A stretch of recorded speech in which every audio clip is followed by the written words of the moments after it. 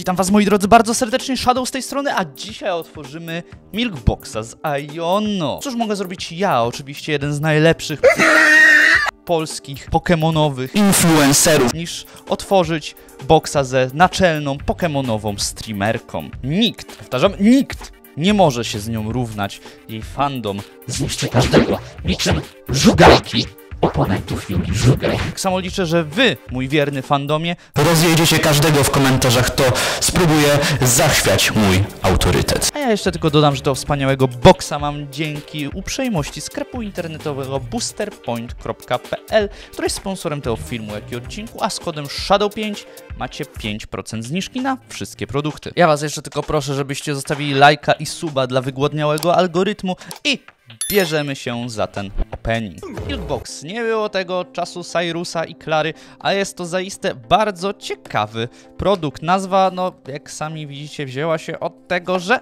wygląda jak karton od mleka. E, a biorąc pod uwagę, że Iono jest waifu, influencerką, może to mieć trochę dziwne konotacje, szczerze mówiąc. No ale cóż my mamy ciekawego w tym boksie? Mianowicie kosteczki różowiutkie, piękniutkie, made in the USA, a to trochę nietypowe, bo dotychczas pokemonowe produkty to raczej były made in China, szczerze mówiąc. Made in China, mimo że Pokémon Company jest y, amerykańską spółką.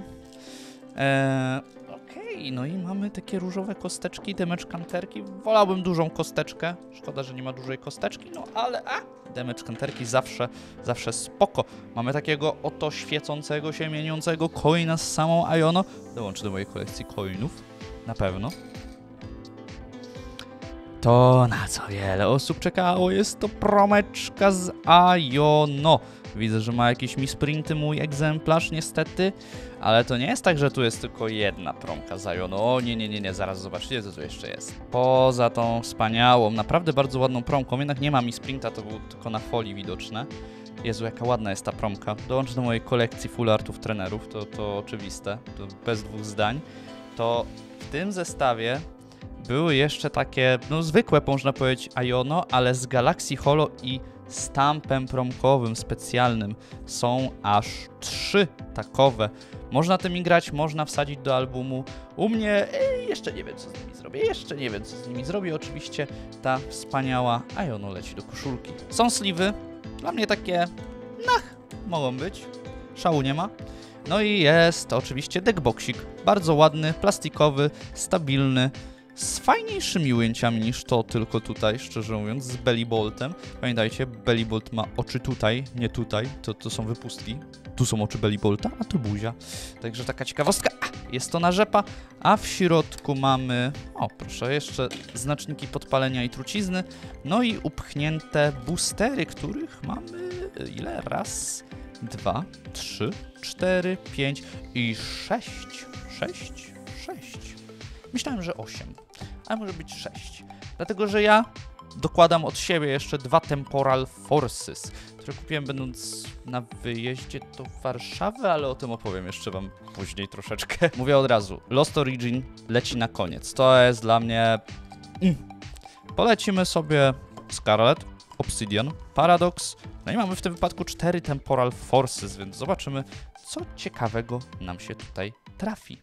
I tak jak mówiłem, byłem w Warszawce, a więc czekając na dworcu jeszcze w Poznaniu na opóźniony pociąg, e, wszedłem sobie do Empiku i dokupiłem sobie dwa boosterki, bo stwierdziłem, a czemu nie, chętnie sobie coś otworzę w drodze i wiecie co, w drodze ich nie otworzyłem, więc e, w zasadzie to zostały do teraz i stwierdziłem, a wezmę je na opening, a czemu nie, a czemu nie, będzie więcej kontentu, zawsze dwa plus boosterki, zwłaszcza, że to Temporal Forces, więc no, grywalne, mamy Rhyme, mamy słodkiego Rockrafa, mamy Wigleta, ale tak, co robiłem w Warszawce? Byłem na biwaku harcerskim polskiej reprezentacji na mód skautowy w Portugalii. Tak, wybieram się w przyszłe wakacje do Portugalii. Czy mamy coś tutaj? Nie jest. Bryce jest i Caesar.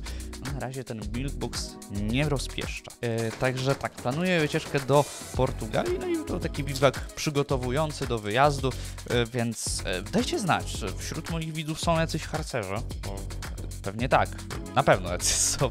A jeżeli tak, to czy wy również wybieracie się na jakiś wyjazd zagraniczny w któreś wakacje lub też nie wakacje, bo w sumie teraz będzie chyba też Intercarp. Mamy Technical Machine Evolution, grywalna karcioszka i mamy Dotlera, którego ja już posiadam, ale nie będę narzekał, jest to zaiste bardzo ładna karta do kolekcji lub też na trade. No ale ja tak gadam o sobie, o sobie, ale wypadałoby coś powiedzieć o Iono, która jest główną bohaterką tego odcinka, mianowicie jest ona gym liderką z La Vinci, La Vincia City. Jeba, o! O! Słuchajcie, do chwilowo Iono to, to, to, to nie ma znaczenia. To jest karta, której mi brakowało do kolekcji z tego dodatku. W sensie to jest karta, którą bardzo chciałem uzyskać. Myślałem, że będę się tradeował, ale nie. Temporal Forces się do mnie jeszcze uśmiechnęło i przyniosło mi Gastliego, który no w sumie ma też na arcie i Huntery i Gengary. Jest to jedna z droższych kart tego dodatku. Macie tu nawet jeszcze miała. Jest to bardzo miłe zaskoczenie. No. Mm. Iono zaczęła oddawać. Iono zaczęła oddawać. E, Ale tak jak mówiłem, jest ona e, leaderką z Vlavinci i jest też ona streamerką, jak już zdążyliście pewnie zauważyć na początku tego materiału. Jest ten nie wiadomo ile ona ma lat. To jest trochę kłopotliwe dla community. Ja obstawiam, że ma coś tak około 20, 23, czyli jest trochę młodsza ode mnie.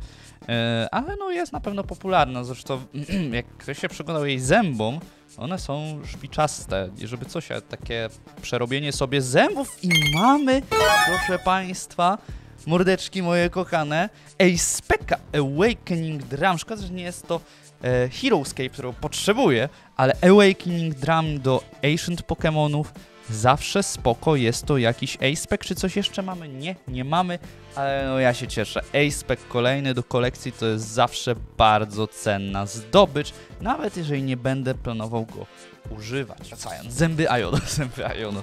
E, Zęby Ionu są szpiczaste i tego co mi się wydaje takie przerobienie swojej jamy ustnej pod tym kątem nie należy do najtańszych i chyba też nie do najprzyjemniejszych. E, Nie wiem, ktoś tutaj się zna na tym, coś z dentystyką, e, ortodontystyką, e, nie wiem nawet w jakim zakresie to dokładnie jest.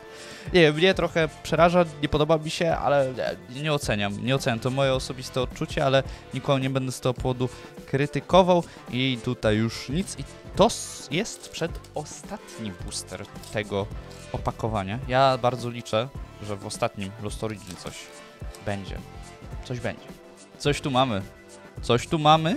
Nie, to tylko Gast. Przepraszam, myślałem, że to art, a to tylko Reverse. Jest Pikachu i zwykły Macargo. Zwykły Macargo, więc Era, Scarlet i Violet kończy się na tym boosterku, a my otworzymy bardzo papierkowego, bym mógł powiedzieć Lost Origin, ale taki urok tych boosterów z ery Sword and Shield, że są takie bardzo, bardzo, bardzo dziwnej jakości.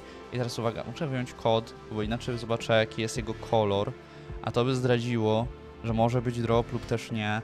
Przekładamy cztery karty, tak moi drodzy, cztery karty do przodu. Mamy energię.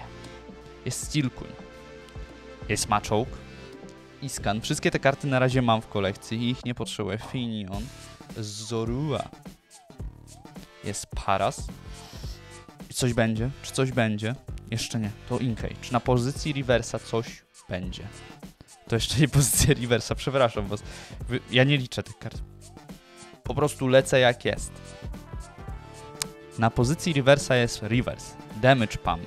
Więc tutaj nic, ale ostatni slot. To może być holo, a może nie być nic. Mamy Giratinę Vistar, moi drodzy. Mamy Giratinę Vistar, zwykłą, ale jednak jest to Giratina Vistar, a więc kończymy ten 8-boosterowy opening z czterema dropami